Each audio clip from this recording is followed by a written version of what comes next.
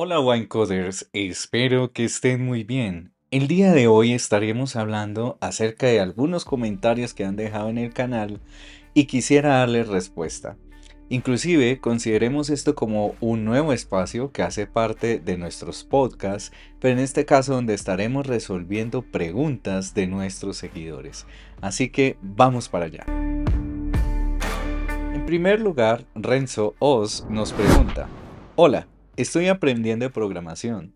De cara a conseguir mi primer empleo junior, ¿recomiendas aprender Angular desde lo tradicional, basado en componentes? ¿O ya sería mejor aprender Angular 17? Gracias Renzo por tu comentario. En efecto es una pregunta muy común. Sabemos que Angular antes trabajaba de una forma con nuestros elementos que nosotros teníamos un add module. En ese add module podríamos nosotros importar nuestros componentes creados y también de otras librerías. Pero hoy en día trabajamos es con standalone components. Entonces muchos se preguntan, yo debería aprender Angular 17 que la notación es diferente, trabaja con standalone components, server-side rendering es mucho más sencillo que antes. Entonces, ¿cuál debería aprender? Bueno, la respuesta a esto es que si nos vamos al sitio oficial de Angular, vas a notar que ya dice en sus versiones que va a lanzar prontamente de que Angular 16 pierde soporte el 8 de noviembre del presente año. Entonces, evidentemente, si empezar ahorita a aprender en el mes de septiembre, pues es muy conveniente empezar desde Angular 17 como mínimo, porque ya con la salida de Angular 19, todo de ahí hacia atrás pierde soporte. Ahora, es normal que a veces consigamos trabajo, que haya chamba en versiones antiguas, pero no te preocupes porque si entiendes bien cómo funciona ahora, entiendes bien cómo funcionaba también en el pasado, no es muy diferente, hay algunos cambios. Mirko González nos dice lo siguiente, excelente aporte buen code, está hablando de Flutter en este caso, sobre todo por los tests. Por mi parte, normalmente creo una capa de Network Layer para manejar y separar el manejo de consulta HTTP como un package. Y lo voy pasando de proyecto en proyecto y ahorrar tiempo.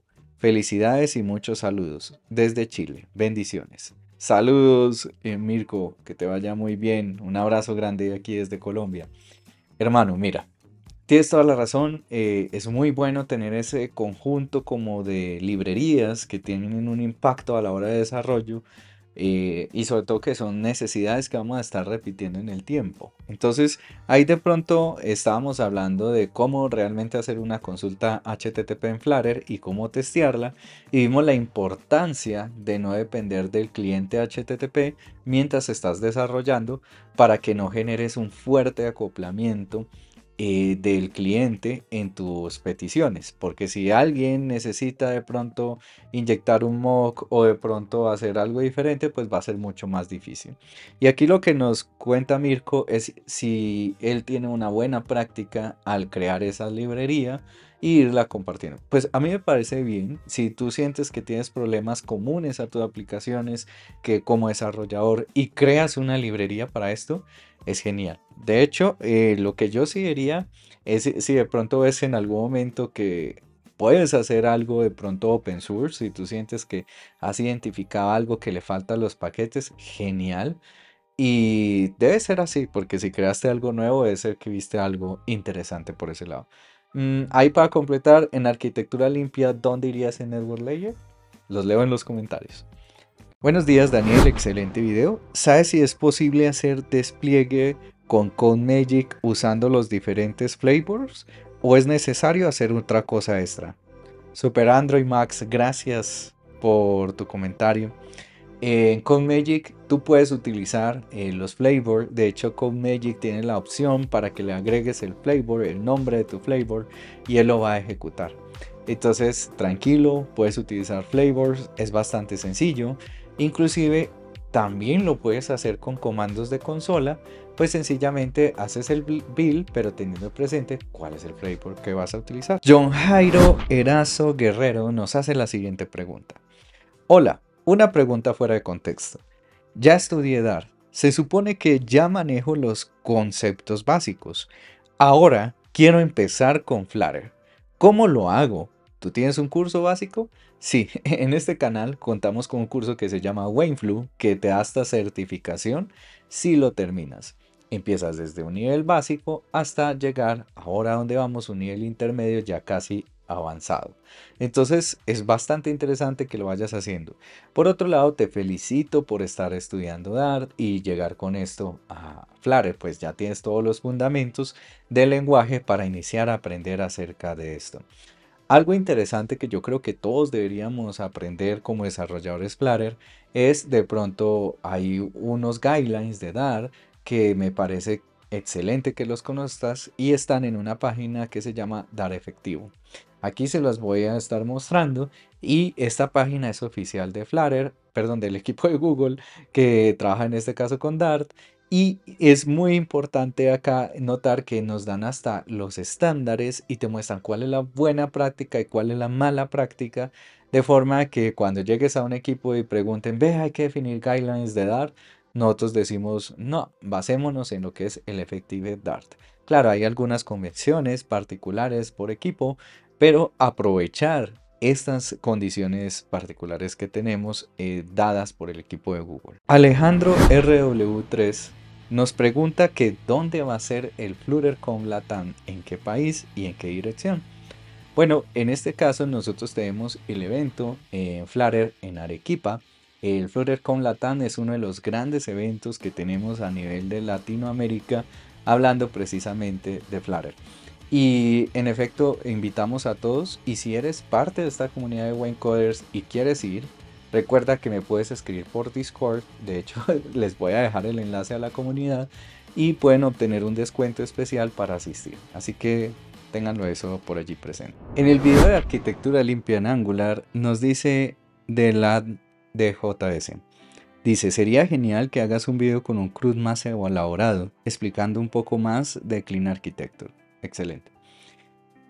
Hermano, en efecto sí, eh, muchas gracias ahí por tu comentario. Sí, eh, a veces lo que me pasa, muchachos, es que no encuentro el tiempo para hacer ejemplos más gruesos, ¿cierto? Entonces, en efecto, sí que lo tengo en errar. Inclusive, ahorita cuando acabemos este curso que estamos haciendo de Flutter, tengo debajo, eh, como tal, ya algo organizado de cómo implementar una buena estrategia de micro frontends con Angular y es un curso completo hablando de ese tema y va a ser muy interesante para todos los desarrolladores Angular.